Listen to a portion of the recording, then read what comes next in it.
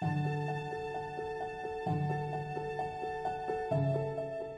everyone, myself Dr. Sheikh Mannan.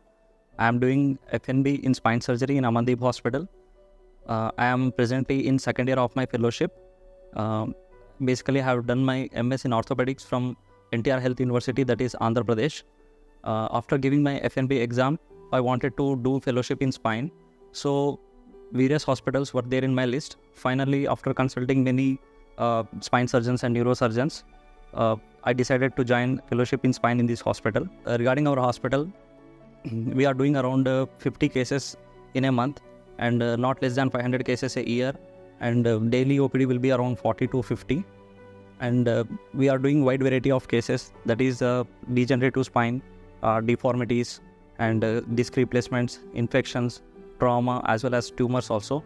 And the best part is that we are getting trained in the minimal invasive spine surgeries and uh, we also have a navigation uh, which we use in very complex surgeries to plan uh, pre-operatively uh, for the better results. So in this hospital, we are not only just assisting the cases, we are all, we are also getting a good hands-on work here. Uh, I hope that after my completion of my fellowship, I will be able to do uh, cases independently. Coming to the head of our department, the head of our department is Dr. A. Mehra. Uh, He's basically a neurosurgeon, and uh, he's a fine neurosurgeon in North India as we all know that our sir is really a passionate teacher. He teaches us really well intraoperatively. Our sir is one of the finest neurosurgeons in India. Apart from the his surgical skills, he is also a very passionate teacher. Uh, he teaches us really good in the clinics, uh, and as well as uh, he also explains really good the radiological findings uh, in the patients and uh, uh, how to plan the decision making. And uh, in the intraoperative also sir teaches us really good because he explains the techniques how to do and very patiently he explains everything intraoperatively that very few surgeons according to my, my knowledge do this. Um, and very lucky that i am getting trained under him.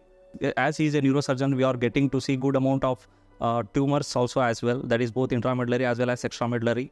As we know that the Amandeep hospital is like uh, the apex trauma center we are also getting a more amount of spine trauma cases here finally I want to, whoever are interested to pursue the fellowship in spine surgery, without any second thought, you can take Amandeep Hospital um, for your uh, career. Thank you.